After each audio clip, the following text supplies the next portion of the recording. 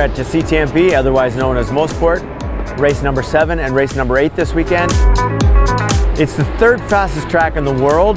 It's right here in our backyard, and uh, you know what? It's home sweet home for uh, some of us Canadian drivers. Started my career here. You know, there's a lot of pressure. There's uh, a lot of fans, the home track. You know, a lot of uh, expectation gets put on yourself uh, by yourself. This track's pretty much unique in the sense that it's very high speed, very demanding of the driver, of the car. The minimum speeds here, I think, for GTS is around 114 miles an hour. I hope to be fast. I hope to show some pros what's capable of these KTM X-Bows and uh, have a really good showing for the team.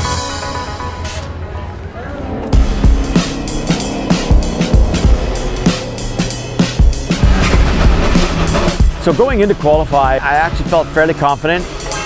The KTM X-Bow has uh, a lot of downforce. It's an aero car. We thought it would do very well here. And you know what? All honesty, just didn't bring it. I didn't have my best game. I qualified P11.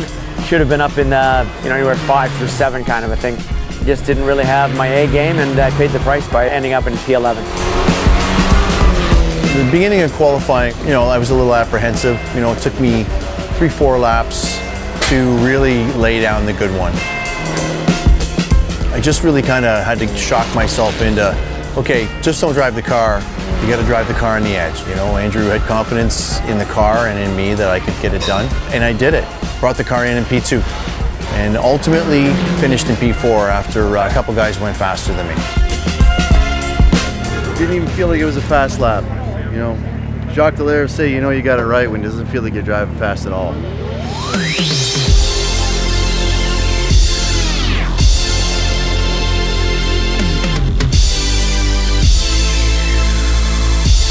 was really excited to get to race day today.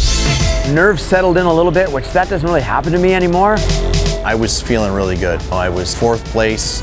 I knew the guys that I was surrounded with were going to be fast. To start, there was cars everywhere. There was cars sliding, there was cars diving inside, outside, and that was only in corner one. I didn't have a really strong turn one, unfortunately. I lost a couple positions, foot into it, rolled uh, three wide going through uh, turn two, and made those positions up. And into turn three, I was able to grab another position on one of the X-Bows that had uh, qualified in front of me.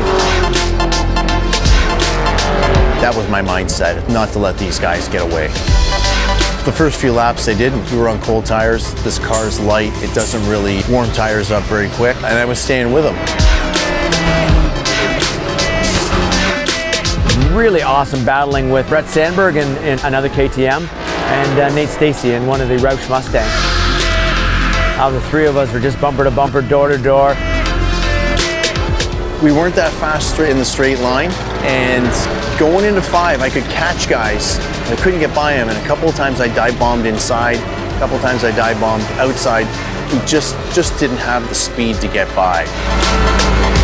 Myself and a Maserati, I don't know how many times we've, we've swapped positions back and forth over the course of the race. I had about four laps to go. I was holding my own ahead of the Maserati, and for two laps in a row, uh, the car got loose on me in uh, turn five. This particular Maserati once again ran me up the back straight. I just had nothing for him, and uh, I lost that last position. You know, finishing eighth place today, I think I think it's something to be proud of. We might not have the fastest car here, but I think we've learned a few things to, to make us go faster and be more competitive for tomorrow.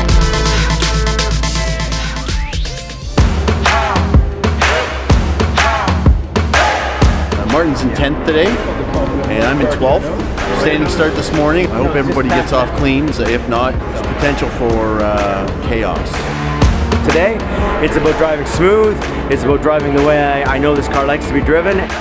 Here to have some fun, do the best we can, and we're gonna work hard doing it. Right after coming out of the pits, I might have been a little too anxious on the throttle and spun. When I knew I was clear, I actually started to laugh because it's such a rookie move. It's one of those things in racing that happens and there's nothing more you can do. Sitting on a red line, waiting for the lights to go out, and instead of just dumping the clutch, I slipped a little bit, lit right up. Coming off the outside of one, gave up a position, grabbed that position back, found the outside of two and was able to grab at least another position, rolled down into three, went to the outside uh, of three for another pass. I started from the back of the pack after I spun. It was going well. Is going into three. There was a Sin car that had tank slap in front of me and almost took me out. After the first caution, we got right back at it after about 20 minutes of cleanup. When you know it, another yellow comes out. After I think over 10 laps, we got back to racing. So a lot of the race was under yellow, didn't give me an opportunity to make any passes. I think maybe we had three laps after the restart. Just close battling. Mustang got in around me, had bigger legs down the back stretch. One of the other competitors in a Sin car, I'm afraid, got around me. They got some killer mile an hour on us up the back straight. The last lap of the race, the Green Lotus that was in front of me gave me an opportunity to pass, and I took it. He decided to make contact with me. If you're going to do any passing on this track, it's, it's very tight to do so, and usually at high speed. I outbroke him into corner eight and uh, finished the race in, in P9. A couple cars got into it going through nine, and I just decided to stay in it and hopefully find some clearer track. And as it turned out, I was able to pass one of the other KTMs, likely 10 feet before the finish line. You know, all in, a great race for the team, a great race uh, for myself. Gives us some momentum to carry into Lime Rock. I think it's a better suited track for our cars. It's a tight track. I think we're going to see contact there between cars.